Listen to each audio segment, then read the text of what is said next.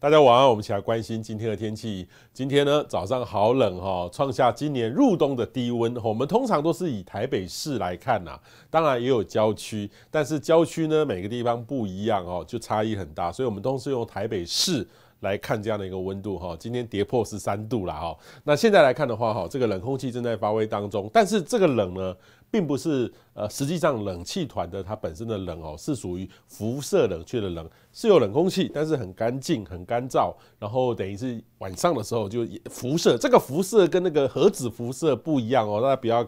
呃，搞错是这个热量哈，因为这个很晴朗，都散出去了，这个叫辐射啦哈。那现在来看的话哈，这个辐射冷却效应在今天晚上到明天的清晨还有哦，明天早上还有一波冷的感觉哦，所以请大家明天早上如果外出运动的话，要留意一下哦，哎，就乖哈。那现在来看的话哈，礼拜六、礼拜天整个。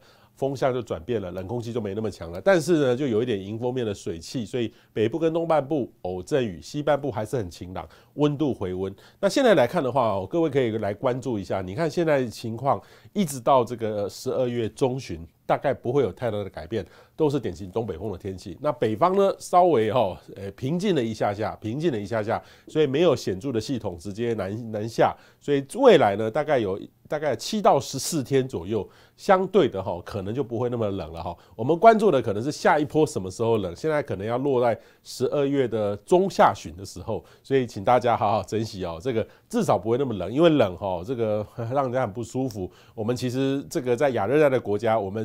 没有冷暖气哈，大多数没有暖气，所以感受上呢一冷就很有感觉哈。所以台湾的天气呢，大致上就是属于东北风的天气。礼拜六开始缓和当中，那这个缓和呢会稍微很好很多，请大家好好珍惜啦。那当然了，中南部要注意一下，因为这边非常稳定，就没有什么风。东半部容易偶阵雨，所以礼拜六各地都是晴朗的天气。然后，但是到了礼拜天，这个又开始有一些阵雨会出现了，就是水我说的水汽，请大家稍微留意一下就可以了。大致上呢，这几天的温度会慢慢的回升，就是礼拜。呃，六的这个清晨还是要注意这个浮冷的低温哈，十三到十四度，然后中午的高温到二十度，然后这个未来呢就十七到十九度，其实十七跟十四哦差三度而已，就差很多哈，这个这个是很有冷的凉意哈，啊这个呢是稍微舒服一点点，然后大致上呢未来这几天慢慢的就会开始回温起来，请大家好好珍惜一下十一，然后接下来十六十七度，然后明天二十四二十五度，然后预计呢这样的南部呢也是一样开始会回温十八到二十五六度，南部是。真的很舒适的温度。那今天晚上呢，各地的天气其实大致上啊，还是要注意了低温的问题哦。有没有看到十三、十四、十二、十四？尤其这个。这个中南部这个靠近丘陵的地方哦，因为比较晴朗，然后没有什么风，辐射冷却又越厉害。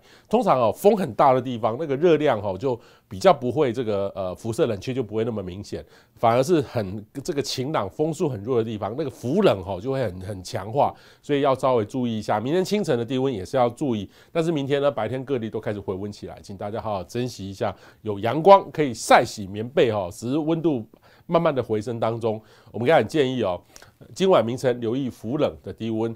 周六开始冷空气减弱，逐日的回温当中。周日一水汽增多，迎风面偶阵雨哈。下周还是属于东北风的天气，就大致上会类似这样天气会一段时间。